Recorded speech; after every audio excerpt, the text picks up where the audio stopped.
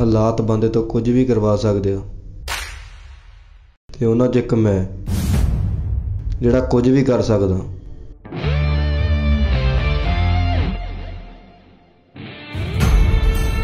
ਲਾਡੀ ਭਾਈ ਤੇਰੇ ਭਰਾ ਦਾ ਐਕਸੀਡੈਂਟ ਹੋ ਗਿਆ ਹੈ।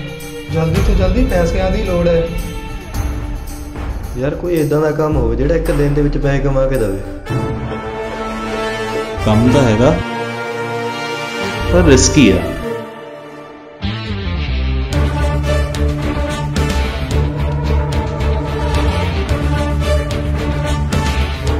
ਜਿਹੜੇ ਕੰਮ ਤੂੰ ਕਰ ਰਿਹਾ ਹੈ ਇਹ ਕੰਮਾਂ 'ਚ ਤਰੱਕੀ ਨਹੀਂ ਸਿਰਫ ਜੇਲ੍ਹ ਮਿਲੂਗੀ